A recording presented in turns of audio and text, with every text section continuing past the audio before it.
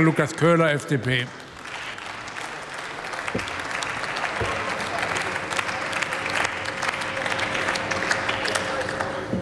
Wenigstens schön groß, Herr Münch.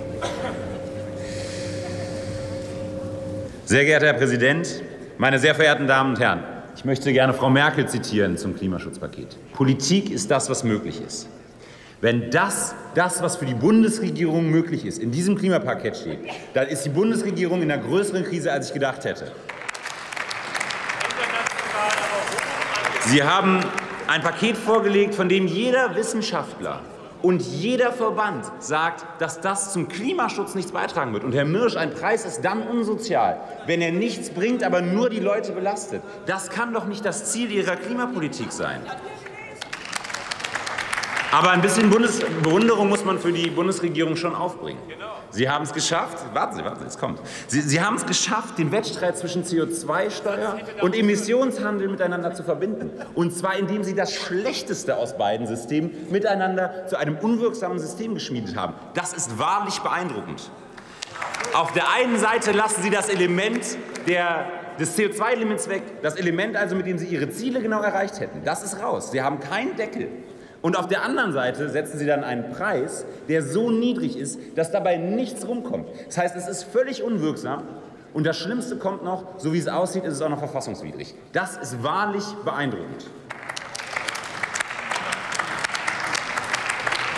Dass Sie, Herr Mürsch, und die SPD dieses Paket feiern, das kann ich verstehen. Sie haben sich bei der CO2-Steuer durchgesetzt und Sie haben das Klimaschutzgesetz reingeschrieben. Aber dass Sie, liebe Union, am Anfang sagen, Sie wollen keine Steuererhöhung, dann eine CO2-Steuer beschließen und dann auch noch den Weg in die Klimaplanwirtschaft wählen. Und das sind nicht meine Worte, lieber Herr Nüsslein, das sind Ihre Worte zum Klimaschutzgesetz, dass Sie also dann ein Gesetz beschließen lassen, in dem es darum geht, das BMU zu einem Superministerium zu machen, das darüber wacht, dass der Rest der Bundesregierung seine Ziele einhält und wenn das nicht passiert, mit Sofortmaßnahmen den Leuten vor den Kopf stößt. Und Sofortmaßnahmen, meine Damen und Herren, sind im Verkehr Fahrverbote. Das ist das Einzige, wie Sie in einem halben Jahr signifikant CO2 reduzieren können. Das kann doch nicht das Ziel der Union sein. Wirklich, ich bin wirklich schockiert. Immerhin, irgendwann in ferner Zukunft wollen Sie dann ein System, wie auch immer Sie das jetzt dann wirklich machen wollen, wenn es verfassungswidrig ist, in den europäischen Emissionshandel integrieren. Warum in ferner Zukunft? Meine Damen und Herren, wir haben Ihnen vorgelegt, wie das innerhalb eines halben Jahres funktioniert.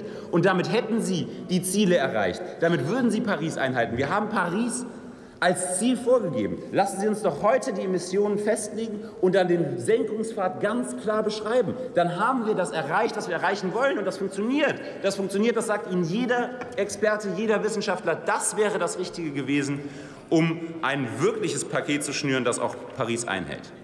Meine Damen und Herren, wir beteiligen uns aber gerne am Klimakonsens und da kann die Sternstunde des Parlaments ja noch kommen. In diesem Klimakonsens kann es ja noch passieren, dass Sie zur Vernunft kommen und zumindest dieses Instrument des Marktes sinnvoll formulieren. Denn Marktpreise, meine Damen und Herren, sind die unbestechlichsten Instrumente, die es gibt. Niemand kann mit dem Markt verhandeln. Aber Steuern können Sie rauf und runter setzen, wie Sie wollen. Und das kann nicht das Ziel einer Klimapolitik sein. Wir müssen Paris einhalten. Das machen wir gerne in einem Konsens, gerne zusammen. Herzlichen Dank. Jetzt erteile ich das Wort dem Kollegen Andreas.